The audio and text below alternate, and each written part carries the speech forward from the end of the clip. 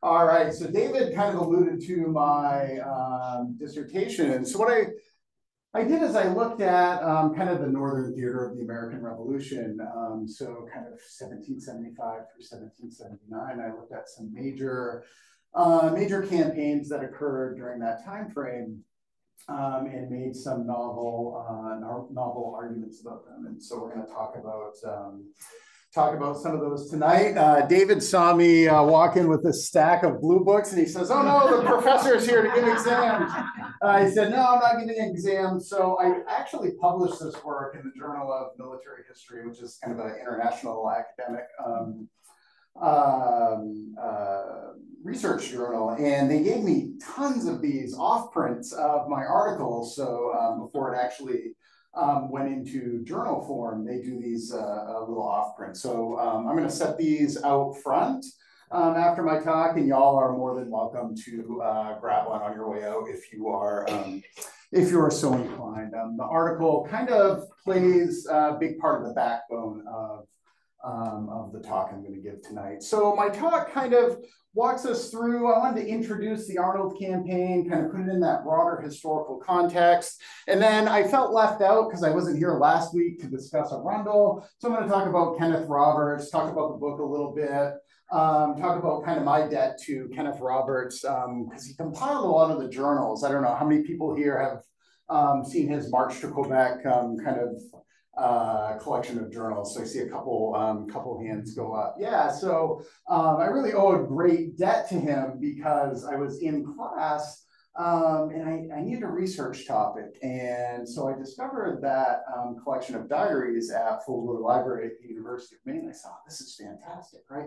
All kinds of rich um, rich resources um, in them. So, and then I'm going to launch into kind of my take on Arnold's March, which will probably be a little bit different from the standard uh, literature that maybe you are all uh, you are all familiar with. And then uh, I look forward to um, uh, questions and um, and whatever. So I was glad that uh, David thought of me for the Skowhegan Bicentennial series. I think this uh, uh, this kind of merges um, merges well with that. Um, and so I'm going to talk about some uh, talk about some interesting um, history. And I'm going to kind of complicate the prevailing narrative about how soldiers um, interact with the environments with which they serve. Um, most people, when they think about military history, they think about battles and movements and and things like that. But actually, most of a soldier's job isn't fighting. Most of a soldier's job is marching, it is building camp, it is uh, foraging, it is doing a whole bunch of other activities that isn't fighting, right? And so that is um, what we are going to get into um, tonight. And this is also timely because I'm teaching American military history at the university um, this semester. And I just got done talking about um, kind of my lectures on the Seven Years' War and the, um, and the American Revolution. So it's all kind of uh, uh, very um, timely. So I'm going to, if I can get my clicker to work, maybe I could point it this way. Oh, no. I can use the keyboard. Maybe I can't use the keyboard. Do I have to click on the window and then do it? Hey, look at that. Hey, now the clicker is working. Great. All right. So, ah, there we go.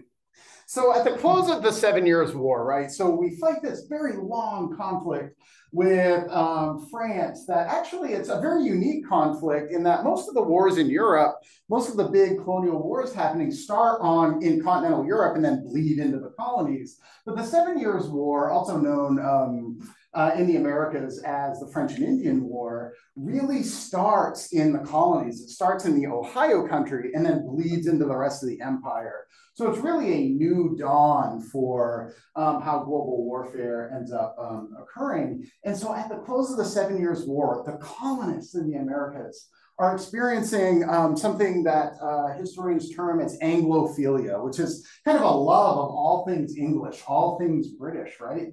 Um, and this spreads throughout the colonies. You know, they just defeated, they just casted off their long-standing enemy out of um, out of uh, North America, right? And so, how does this all go wrong, right? How do we go from Anglophilia to the American Revolution in a very short, um, short amount of time, in about 12 years? Well, to begin with, Britain has to pay for this war, right? And how do they pay for the war?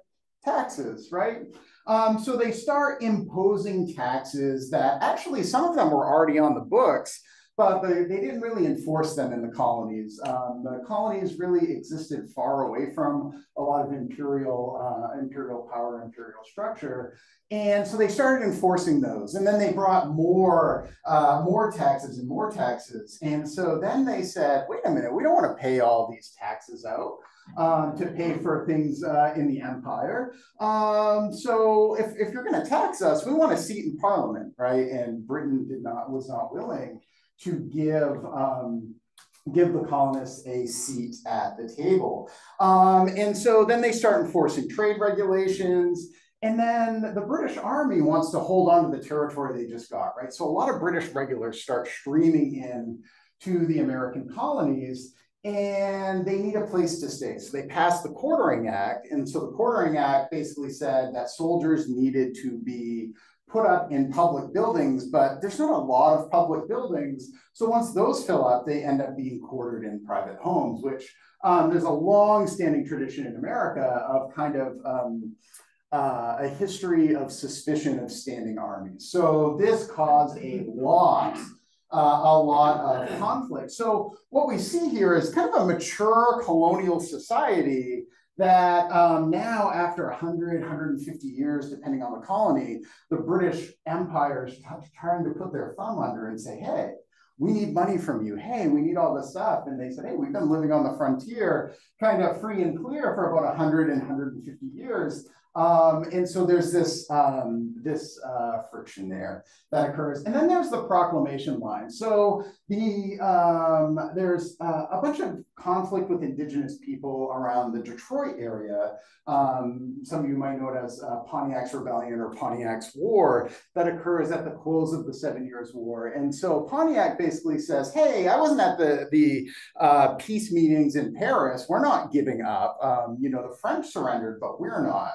And so there's all this conflict that occurs um, in this uh, Western land area between indigenous peoples and the British. And the British says, hey, we, we don't want to fight anymore. We just spent a ton of money on war. And so they decide that they need to create uh, create some peace to uh, kind of smooth things over uh, because they don't have a whole uh, whole lot of money. So they come up with this idea of a proclamation line where the areas to the east would be where the colonies are, and the areas to the west would be um, kind of an indigenous reserve.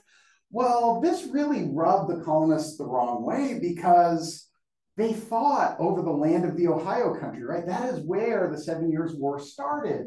So um, this really, uh, the colonists really um, uh, said, you know, we had family members who died, we've lost our fortunes, we lost all kinds of things trying to get this land, and now you're telling us we got to stay to the east of that proclamation line to keep peace. There was also a lot of colonial elites who had land speculation deals in the Ohio country. So one of the things that starts um, the Seven Years' War is George Washington is actually kind of exploring out there on behalf of Virginia um, and kind of surveying land. He bumps a French um, uh, French detachment and they start fighting, and then that kind of spirals things out of control. So there's a lot of elites who have land uh, land speculation ideas of this country as well. So um, all of this really doesn't um, doesn't bode well with the colonists between the taxation and everything else. So tensions start escalate escalating. We end up with political disagreements, uh, mob action, um, and then we end up with a confrontation that occurs before Lexington and Concord,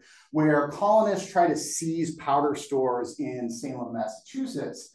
Um, that somehow doesn't uh, devolve into armed conflict, but shortly after, um, in April, we end up with uh, uh, kind of the infamous or famous um, shot heard around the world at uh, Lexington and Concord, right?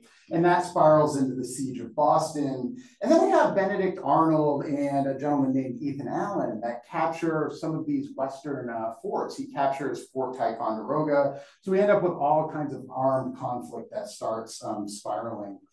And then politically, um, so we have, uh, oh, okay, yeah. Um, so we have Lexington and Concord up top. We have the Battle of Bunker Hill uh, image down bottom. Um, and then we actually have, um, I found a map of uh, Fort Ticonderoga actually, where um, Arnold and Ethan Allen end up, uh, end up taking. And so how do we get to the point where we invade Canada, right? So the revolution has started. So what's going on here? Well, the Continental Congress realizes the importance of Canada, right? They might be sympathetic to the American cause. They're recently put under uh, Brit Britain's imperial rule, and the colonists are saying, the English colonists are saying, hey, this is this is kind of oppressive. Um, I bet the French really aren't liking this a whole lot either. So they thought, hey, you know, there's there's somewhere between 90 to 100,000 other colonists living uh, in um, the area which would um, eventually become Canada. Why don't we try to get them to come in as like the 14th rebellious colony? If we invade Canada, they might all help us out and they might pile in and then we'll we'll have even more um, even more even more help. So the expeditions concocted as a single prong attack initially under the command of the gentleman on the left. So that's uh, General Philip Schuyler. And then we have General Washington on the right there. Um, and so they concoct this expedition to go up through a really well-traveled uh, invasion route um, where uh, the French invade into New York and then the uh, British invade up into Quebec um, so often throughout uh, periods of colonial uh, colonial warfare. They said, okay, we can invade up through here, we can get Montreal, take Montreal, and then take, um, take Quebec. Okay, so we have kind of a plan hatched.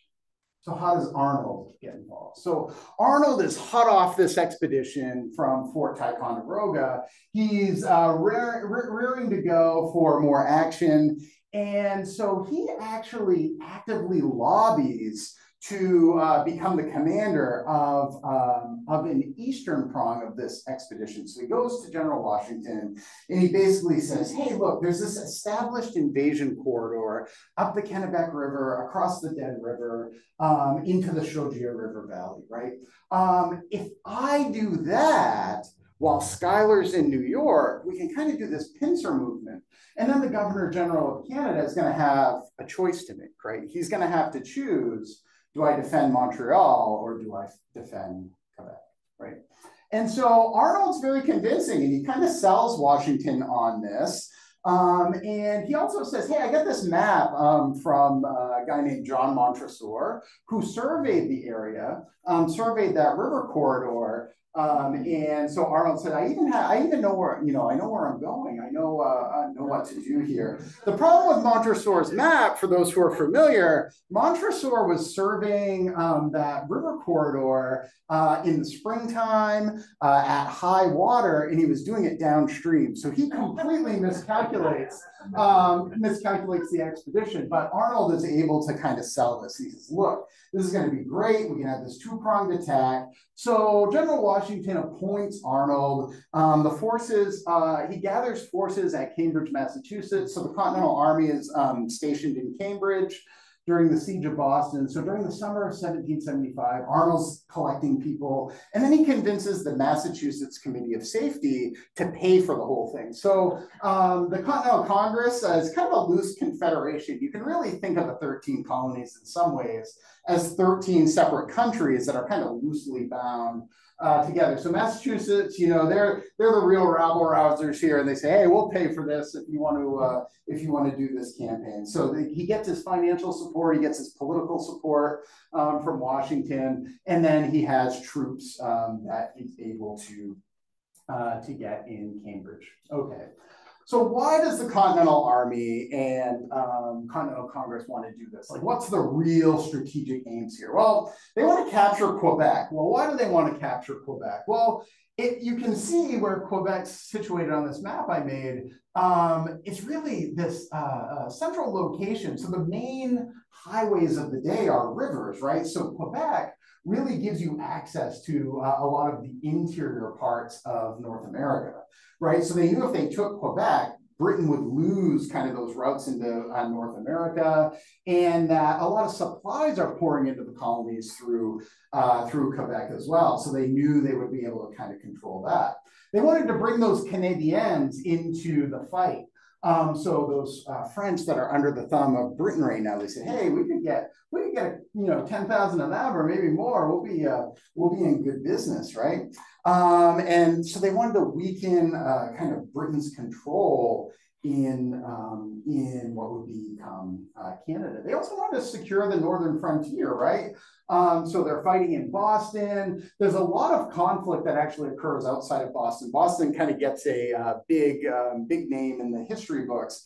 There's a lot of rioting that's occurring in Philadelphia, in New York, uh, places like that. So they want to kind of secure those areas from northern invasion as well. So there's all kinds of invasion routes into, say, New York, Pennsylvania, Massachusetts, Vermont, New Hampshire from uh, from Canada. So they want to um, kind of uh, disrupt that. They also want to take the initiative, right? So they've seize Fort Ticonderoga. They're doing pretty good in Boston. So they say, hey, we can kind of take um, take the initiative here, take the British off guard, and really disrupt their uh, disrupt their plans. And then there's all kinds of armament and artillery and munitions and supplies in Quebec. And they said, hey, we just got a bunch of this stuff at Ticonderoga. Wouldn't it be great if we got um, even more? But one of the most important things is this bottom bullet point, and that is they wanted to end the conflict quickly. So the Declaration of Independence isn't signed for a full another year. It's not even um, really concocted at this point in time. And so what the Americans were fighting for was not independence at this point in time, but to secure their rights as Englishmen. So they wanted to end this thing quickly, tell Britain, hey, uh, we're sick of the taxation, we want representation, we want kind of self-rule and some self-governance here. But what they were really fighting for in this early stage of the war was to secure their rights as Englishmen. So that is a really um, kind of important contextual element. All right, so let's talk about Arnold's March, and um, we'll talk about uh, um, kind of how it's talked about in uh, history books, right? And so the fancy word for that is historiography. Um, so the Arnold expedition, as you probably all know, is talked about in two kind of common tropes in the literature. So there's one uh, group of literature that you know praises Arnold and his leadership, and he's able to you know get the men up by their bootstraps and and do this mission, and and, and it was really um, uh, a lot of early historians compare him to uh, Hannibal crossing the Alps and all kinds of things like that, right? And then the other side of the coin kind of the newer literature, the social history of the military really looks at the privation and suffering of common soldiers in the wilderness, right? So those are the two main veins in the literature regarding Arnold's expedition. But that's if it's even talked about at all. So most um, larger studies of the American Revolution ignore it altogether. In fact, I, doing my research, um, uh, I even found some books about the American Revolution in Maine that dedicate a paragraph to Arnold's March. And I said, well, I'm this curious. Um, uh, why is it ignored? Well, part of the reason it, it's ignored is it doesn't result in anything for the victors of the American Revolution, right? It's a it's a lost battle. Um, so typically, American historians generally um, ignore it, and a lot of Canadian historians pick things up after the American Revolution. So when they're talking about um, um, the history of Canada, that is where they uh, tend to begin in a lot of their um, bigger studies. So there was no real major uh, strategic consequences for both sides, other than the British kind of pushes back this American um, American tide.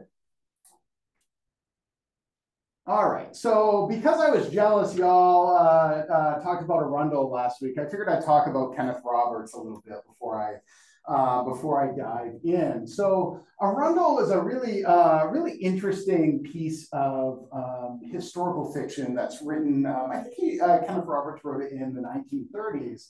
And in his research for Arundel, he actually goes to great lengths. He goes to all of these archives that at um, Harvard. He talks to all of these people about um, uh, who have diaries of the Arnold expedition. He compiles them in this book called March to Quebec um, that has all kinds of the um, all kinds of the diaries of uh, Arnold's march. And that was my first introduction to this whole topic. So I, I really owe Kenneth Roberts, I think, a great debt to introducing me to this topic through both Arundel and um, from March to Quebec. Now, Arundel, of course, is historical fiction, so uh, Kenneth Roberts takes a lot of um, creative liberties, right, with his um, uh, with his characters, with his narrative, with his timing of events. Um, there's a lot of key figures that are curiously omitted in, in Robert's uh, book too. So we don't really get a sense of George Washington's leadership or um, you know, Thomas Jefferson crafting the Declaration of Independence, or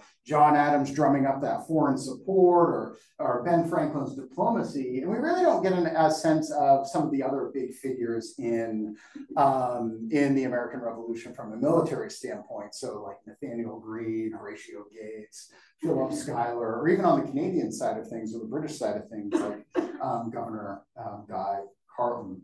And then one thing that actually occurs in a lot of the literature around Arnold's campaign is there's a lot of um, anachronisms that um, people use. So if you've read a lot of the literature around Arnold's March, a lot of people use Quebecois um, for the Canadian or the habitant um, population, but actually the term Quebecois doesn't come around until the 20th century. So that's kind of a, a misplaced, uh, misplaced term there. Um, Roberts also um, he, he engages in a little bit of stereotyping and bias. So he really views Arnold as like this opportunistic and villainous character. Um, and he depicts like the Franco and indigenous um, populations in sort of romanticized, um, romanticized kind of ways.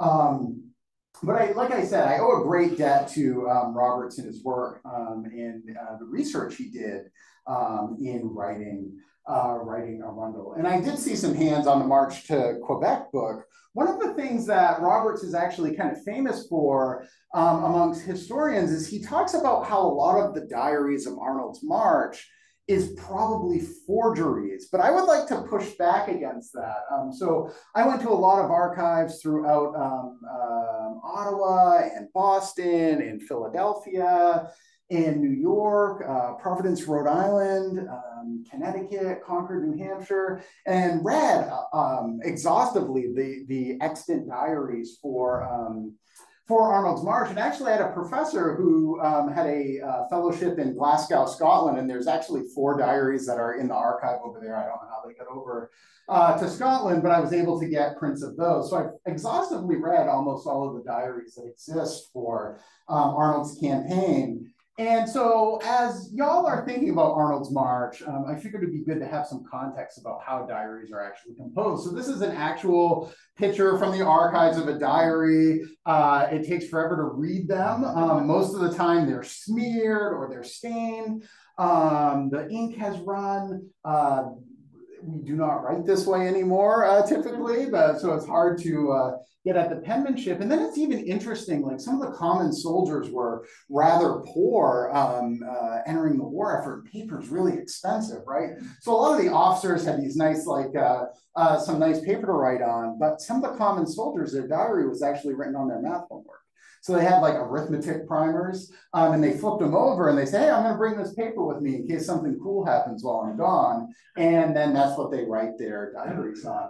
So diaries actually aren't composed while they're marching, right? Um, so it'd be erroneous to think that you know, every hour or two they're checking into their diary, um, writing something down, right? So diaries are written at night around the campfire usually, right? So they're a communal event. And they're a way for soldiers to kind of communicate with one another. So Roberts felt that some of the diaries were forgeries because um, they would mention things that there's no way that person could have seen, like when a tree fell on somebody and killed them, or when um, somebody was actually murdered in camp right outside of um, uh, Skowhegan area, actually. Um, so um, he said, well, this can't be real, right? This person just ripped this other person off. But Instead, I would like to say, you know, uh, these diaries are written kind of communally and they're taking things from each other because diaries are typically written for posterity's sake, right? So what do I want my grandkids to know about this conflict? What do I want my kids to know about this? You know, um, 30 years from now, what do I want to remember about this, right? So they're kind of writing down what's interesting to them, not everything that happens um, along the way. And then diaries also, like um, uh, a lot of the officers' diaries are written while they're in prison. So while they're going through the wilderness, they're taking kind of field notes and little sketches about how long they marched and, and what the conditions were like and things like that, and then little notes of what happened. And then they craft them into diaries while they're prisoners of war in Quebec. Um, so that's kind of an interesting um, means of how these diaries are actually composed. And um, kind of talking about the authenticity of them. All right, so let's jump into what I'm uh, uh, what I'm going to talk about this evening, and that is the interesting intersections between military and environmental history that you can pull out of these various um, diaries. So for context, um, most people think that the that wilderness appreciation is sort of sort of comes out of Henry David Thoreau, right? In the mid 19th century, that Thoreau's really the godfather of appreciating the landscape. Um, and so my dissertation and my master's thesis kind of argued that no, like you know, um, um, 50 years, 60, 70 years before Thoreau, that Thoreau is a historical artifact in of himself, and that Americans were appreciating the wilderness long before that. So Abner Stocking is a private in the Continental Army. He's also he's kind of an interesting uh, fellow because he's actually a privateer as well. So he's like this pirate kind of uh, pirate kind of guy. So he's kind of a, a rough, hard, hard scrabble kind of guy. But about 248 years ago, in the middle of the Maine wilderness, Abner Stocking scratches in his diary, I encamped in a most delightful wood where I thought I could have spent some time agreeably in solitude, in contemplating the works of nature. The forest was stripped of its verdure, but still appeared to me beautiful. I thought that we were in a thick wilderness uninhabited by human beings, yet we were as much in the immediate presence of our divine protector as in the crowded city. And I'll come back to this and analyze it a little bit um, later, but this passage really complicates our prevailing narrative about the Arnold's March, right? That the men basically was dragged through the wilderness and suffered, and it was just all suffering all the time. So, despite this hunger, death, disease that was occurring, that wilderness actually could be a source of pleasure for those who are serving on Arnold's March. So, I read this as a young um, uh, uh, environmental historian who was also interested in the American Revolution. And I said, I'm going to pull on this thread. I'm going to see what you know what else is going on um, what else is going on with all this so this um, this really adds a new understanding, what I'm going to talk about tonight, to um, the invasion of Canada, our understanding of how 18th century soldiers interacted with the landscapes that they um, that they were um, uh, serving in, and also how 18th century Americans view um, the wilderness and uh, other environments altogether.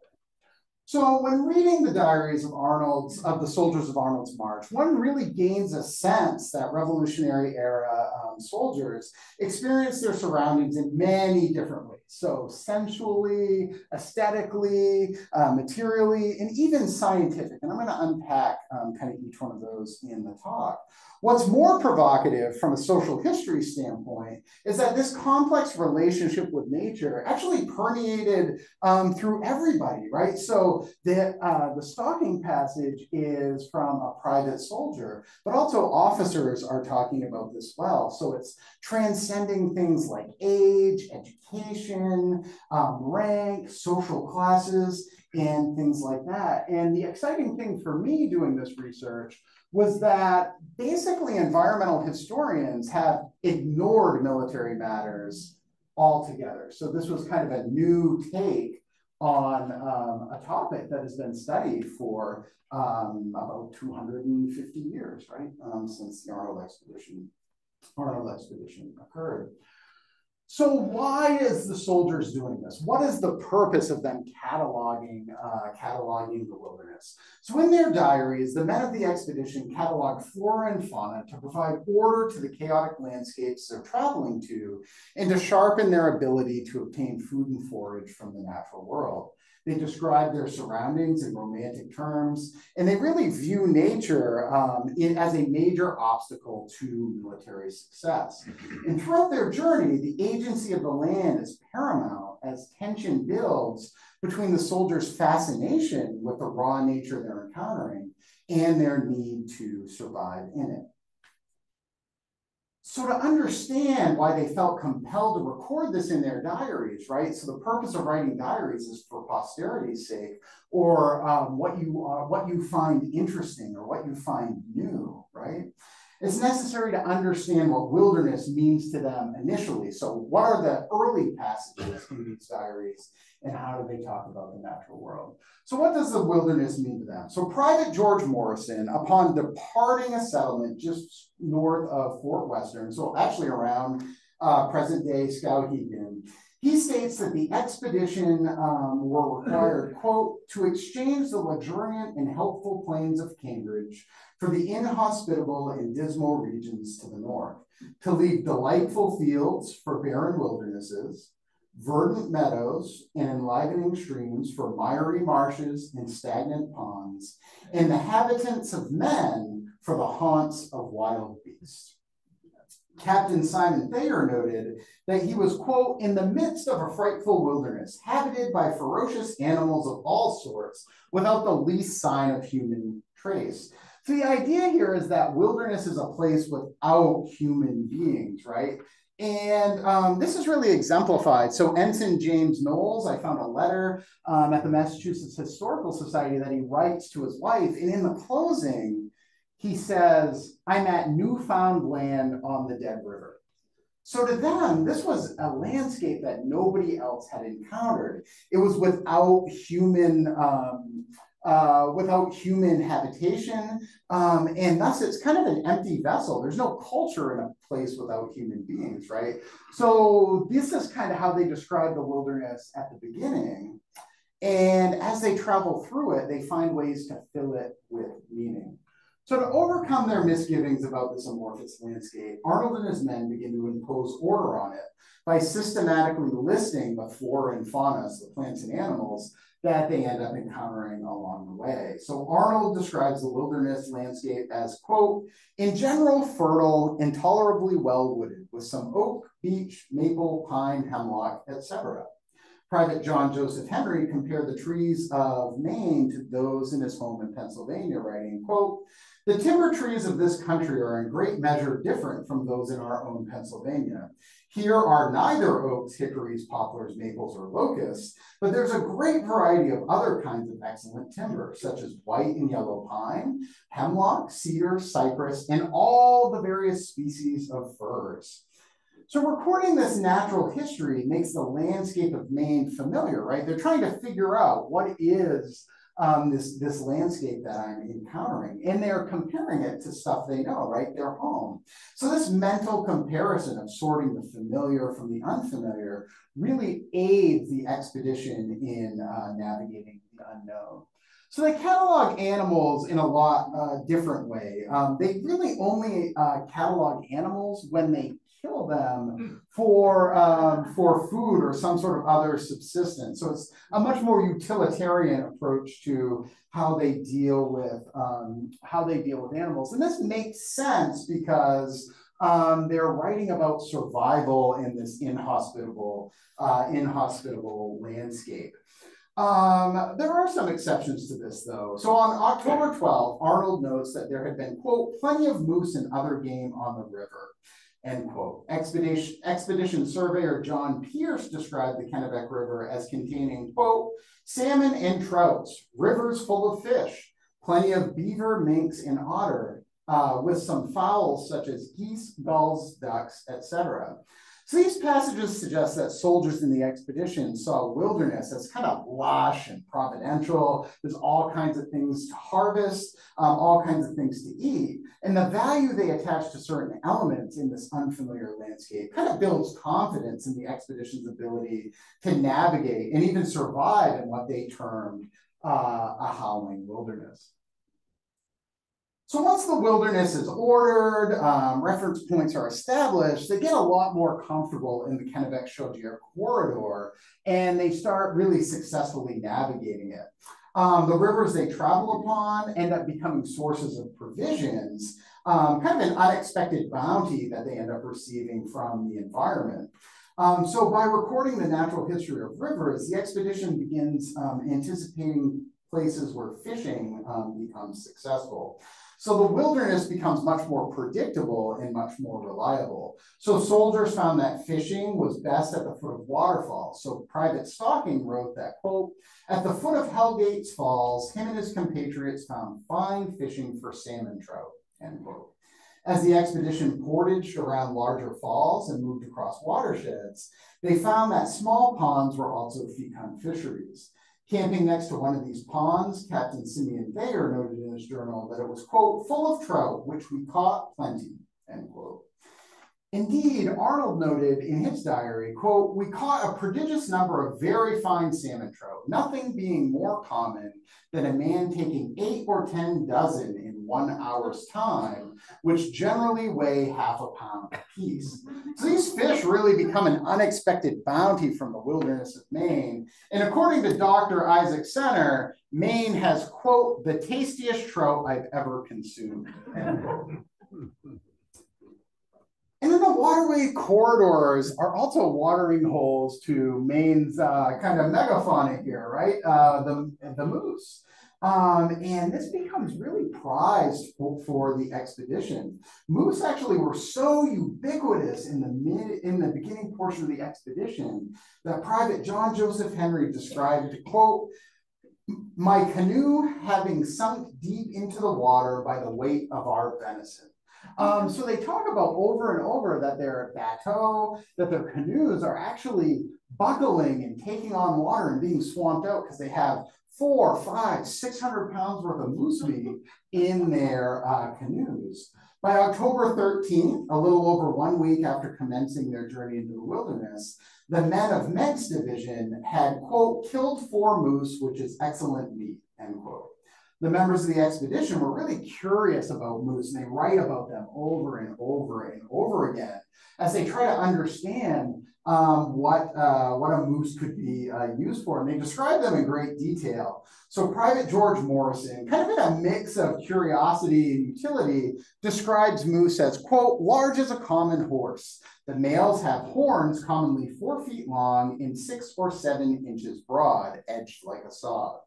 They are of a dun color, have a head much like an ass, and it is said that these animals are a species of the reindeer found in the same latitude in the north of Russia. Lieutenant William Humphrey wrote that, quote, my men had killed a moose. The skin appeared to me to be as big as that of an ox that would weigh 600 pounds. This is the same species of, of the reindeer and would be of the same service to the inhabitants of this country as the reindeer is to the Laplanders in the upper Norwegians. So this was a bit of a head scratcher to me because I'm not overly familiar with 18th century Russia, Finland, and Norway. So I had to do some digging here and figure out historically, how do these places use moose kind of like, uh, or how they use reindeer, how they use caribou. Well, in similar ways to what is pictured in these kind of staged photographs, uh, fun photographs about moose um, that are supposedly hauling timber. But uh, both of these uh, photos actually have been proven to be uh, uh, kind of staged. Um, so caribou were used by these cultures to supplement their diets. Um, so obviously a rich source of protein. They also get clothing, um, uh, they get their hides, they craft tools from their bones and antlers. However, interestingly enough, in these cultures, reindeer were also, quote, employed as draft animals in these regions beginning in the 16th century. So when they were talking about the moose, they were envisioning the moose as plowing fields, as being hooked up to a plow, as being kind of a beast of burden. Um, so this really shows in their mind, they're thinking about settlement of this area eventually, right? Smaller game is also uh, also became standard fare of the expedition. So Captain Simon Thayer noted on October 29th that, quote, this night we had the good fortune to kill a partridge, of which we made a good soup for some supper, end quote. As provisions began running low, Private James Melvin was pleased to record that, quote, I shot a small bird called a seti, I'm not really sure what that is, and a squirrel, which I lived upon this day. The men also foraged for flora, so Private Henry noted that, quote, we discovered and ate a delicious species of cranberry. So they, uh, they are, are using the smaller animals as well to kind of um, supplement their diet. So in addition to providing food to supplement the ever dwindling food stores of the expedition, right, we know that a lot of the bateaus crash, they lose their flour, it gets spoiled. Um, so they don't have uh, all of the provisions that they uh, set out with. So in addition to providing food, um, the wilderness also supplies medicine and materials to repair clothing and watercraft. So on October 25th, Captain Henry Dearborn, quote, was seized with a violent headache and fever. And the wilderness bestowed upon him herbs in the woods, which were boiled into a tea for my relief. I drank very hearty of it, and the next morning felt much better. End quote. Private John Joseph Henry noted in his journal that the balsam fir had healing properties as well. Its sap, quote, was heating and cordial to the stomach and preventing the, prevented the men from being assailed with sickness and dysentery. These folk remedies were really specific to the region, and likely it seems from when these occur in the diaries that it was either provided by the local guides like the Getchells or by um, their other guides. They had a lot of indigenous guides um, with them on the, uh, on the expedition as well.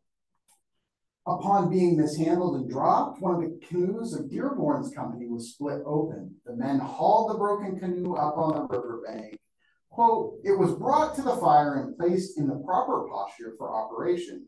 The lacerated parts were neatly brought together and sewed with cedar root.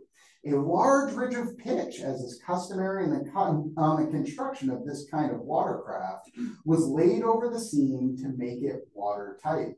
Over the seam, a patch of strong bark, a foot in width, and of length sufficient to encircle the bottom, was sewed down at the edges and pitched. After drying the canoe near the fire, the canoe was once ready again to use for transportation of men and provisions through the wilderness. Nature also supplied them with materials to fix their shoes. After wearing out the heel of his shoes from marching through the wilderness and having the seam burst, uh, John Joseph Henry had either fix the problem or go barefoot the rest of the way to Quebec. He noted, quote, bark, the only substitute for twine or leather in this miserable country, was immediately procured, and the shoe was bound tightly to my foot. The wilderness also provides the troop with kind of um, uh, a mental reprieve. So they talk a lot about the wilderness aesthetic um, that they encounter along the way. And it piques their curiosity, it distracts them from the rigors of the passage, the terrors of isolation, and all of the negative things that they are experiencing.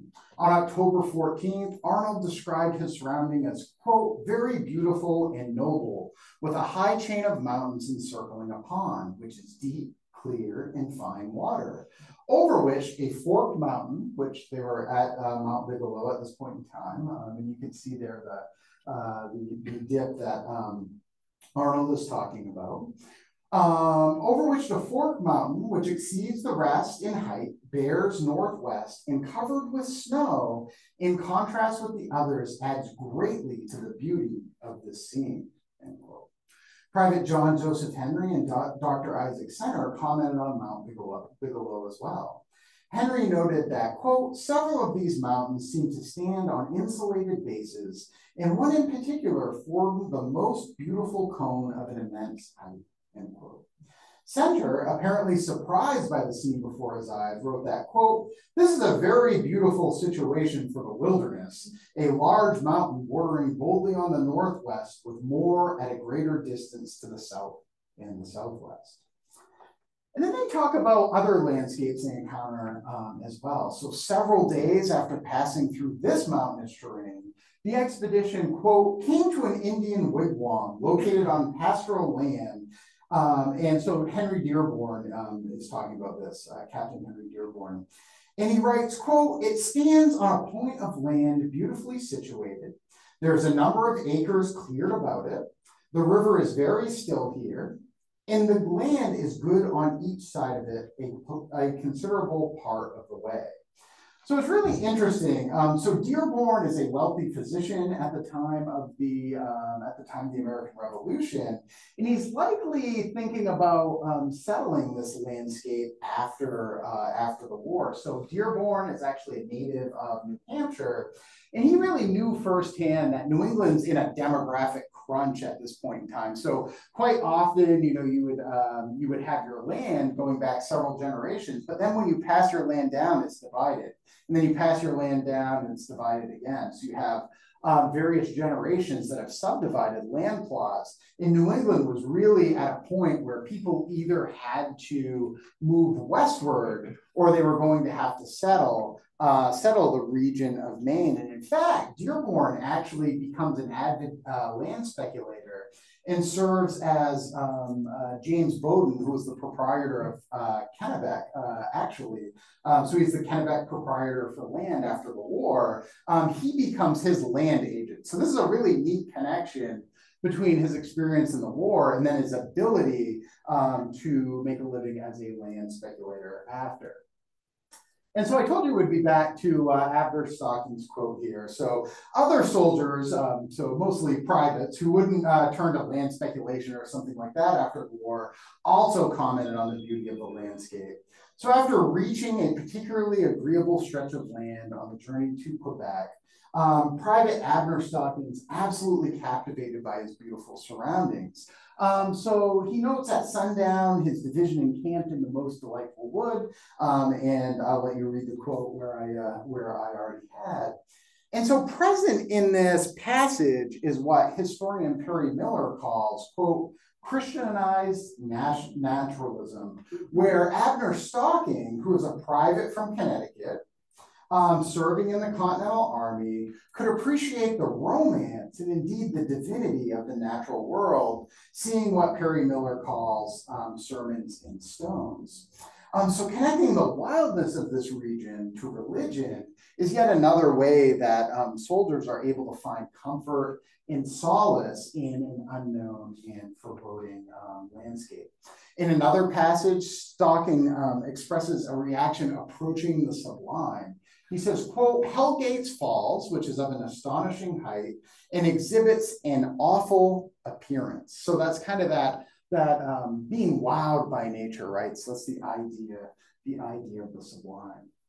While approaching the spine of mountains between Maine and Quebec, Private John Joseph Henry is sailing in his bateau across the pond, and then through the opening in the trees, he and the other enlisted soldiers, quote, obtained a full view of the hills of which were called the height of land. It made an impression on us that was really more chilling than the air which surrounds us. So here we kind of get an idea that they're they're viewing these uh, beautiful landscapes and kind of getting goosebumps by them, right? Um, and so this is really the true essence of sublime is encountering landscapes that kind of take your breath away, right? So the grandeur of the hills before them really inspire feelings of awe of the wilderness and their need to overcome its transcendent power.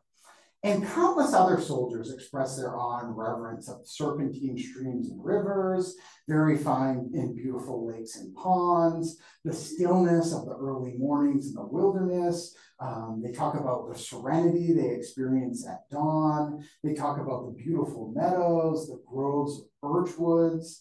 Um, and so you really get a sense from them, uh, this, this sense of wilderness appreciation in this beautiful landscape in Western Maine. And it really becomes a point for them of kind of rejuvenation in this state of starving.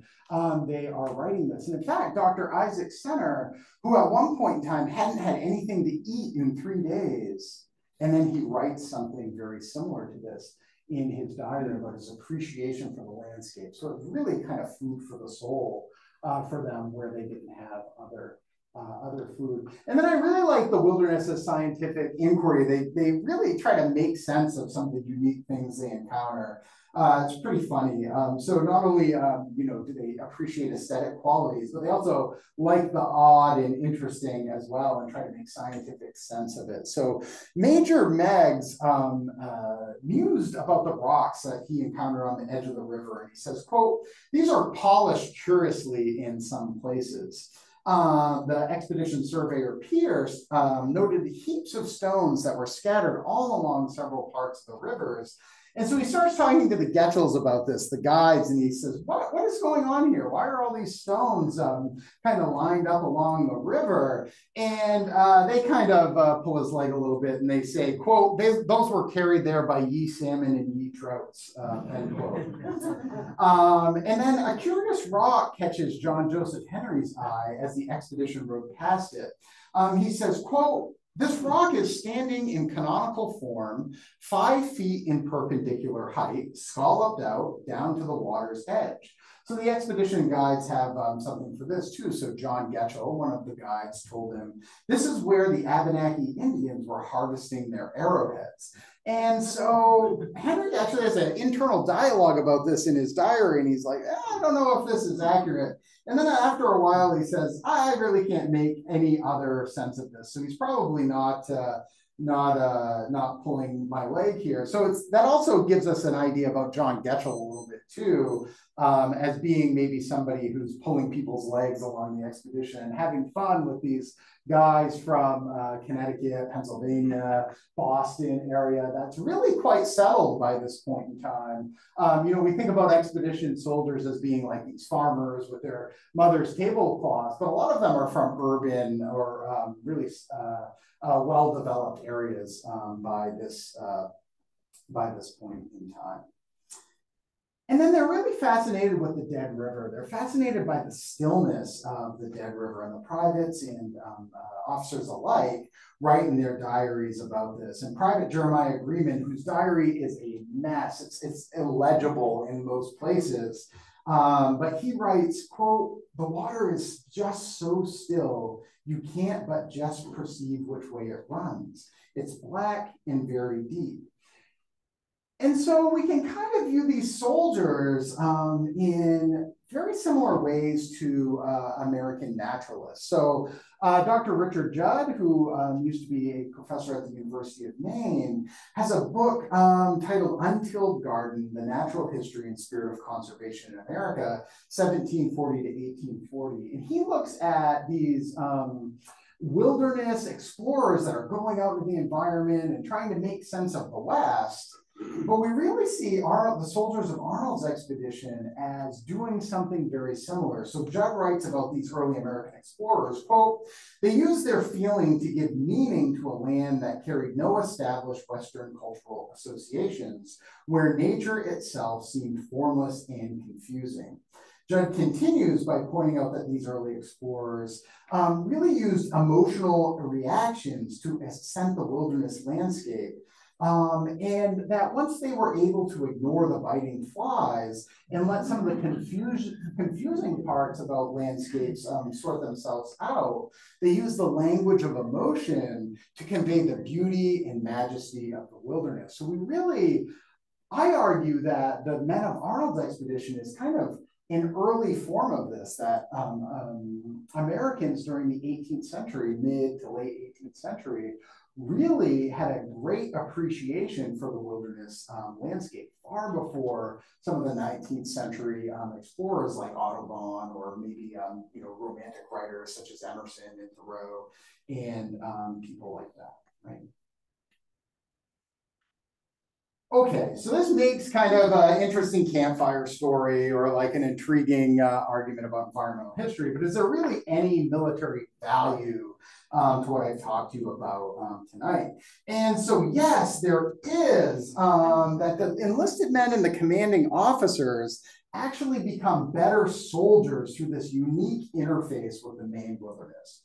And it's kind of hard to tease out through the sources immediately, but when you look at the longer duration of the Northern campaign of the American Revolution, you kind of see that. So focusing in on the soldiers' immediate reactions, Um, and then we'll get into kind of a broader picture uh, of things. So first, the soldiers become really adept at finding moose tracks, and multiple times they complained in their diaries about their canoes and their bateau being swamped out because of how much moose meat they have, right? Second, they find small ponds, pools, waterfalls, things like that, places where they can harvest fish and a whole lot of fish, right? Um, catching enough food for multiple days. Um, then they figure out, oh, angling in the morning before the expedition starts or in the evening. We're able to supplement our food stores. We're able to supplement our breakfast and then our dinner. So they're able to kind of um, reinforce their dwindling food stores with what they're able to get from um, the environment. So they actually learn to partially subsist off the resources of the Maine wilderness. So Private Caleb Haskell has a really good quote in his diary about this um, uh, interfacing with the environment of Maine um, and the experience of portaging cumbersome bateau through the wilderness. So he writes simply about halfway through the expedition, he says, quote, we are learning to become soldiers, end quote.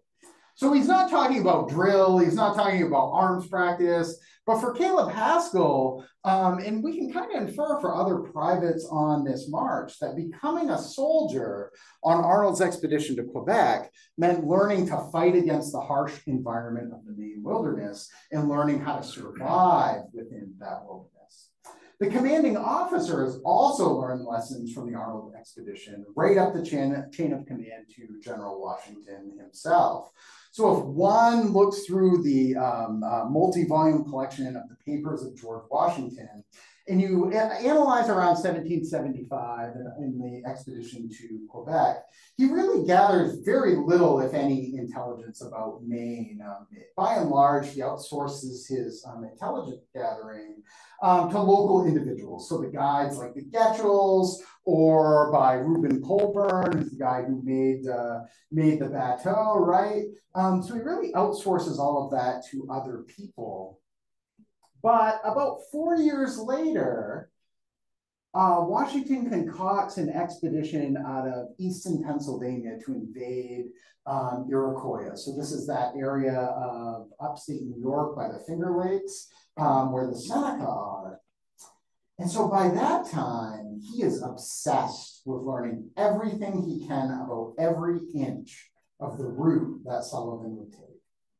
So by the beginning of 1778, he's making general inquiries about how to execute the mission. He writes to General Horatio Gates and asks, quote, what troops you have in contemplation for the expedition into the country of the Seneca? what number you conceive adequate to the service. What are your prospects of supplying them with provisions? What are your prospects with supplying them with stores and other necess necessaries? And with what convenience and readiness the means of transportation can be provided. So he learns his lesson about uh, kind of the Greenwood bateau that Arnold's using, and he's really kind of curious about this. And then he starts writing to everybody in the area. So Philip Schuyler, uh, General um, Gates, um, local elites he knows in upstate New York. And he starts asking about, quote, the face of the country. Is it wet? Is it dry? Is it level? Is it broken? How furnished is it with herbage? And then he even wants to know details at a more micro level. So he asks about, quote, the rapidity and depth of the water, and if there are even, quote, fallen trees in the rivers. So Washington really, letter after letter after letter after letter, inquires to anybody who will listen about the state of the wilderness landscape between eastern Pennsylvania and Iroquoia. And this is a stark difference from the Washington um, who is getting uh, general contractors ready for the expedition to Quebec.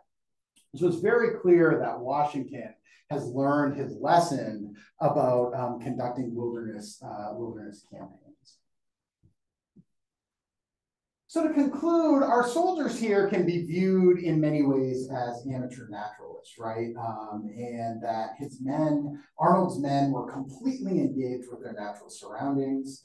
And to make the wilderness less imposing and more useful, the soldiers embarked on a desperate quest to understand their surroundings, impose some sort of order and predictability on the wilderness landscape. And this makes the wilderness more useful, more reliable as a source of food, and less threatening as a gateway to Quebec. Additionally, their diaries um, reveal a near irrepressible sense of curiosity, reverence, and awe not unlike um, the reactions of many romantic uh, writers and romantic artists of the coming decades. This is not necessarily to say that Continental soldiers were proto-Audubons, right? However, they're also not um, uh, the, the frightened Puritans that are encountering, encountering a wilderness where they are um, seeing Satan around every corner, around every tree, right? Um, so they're much more comfortable in the wilderness and much more able to appreciate um, the wilderness um, than the Puritans were, or um, in in ways that um, historians had not prior to uh, prior to appreciated. So the soldiers of Arnold's March kind of occupied the space in between, right? So their ideas about the American wilderness were transitioning, right, from fear to reverence, um, kind of like the nation itself was transitioning into um, Enlightenment modernity and independence from Britain. Thanks. Hmm.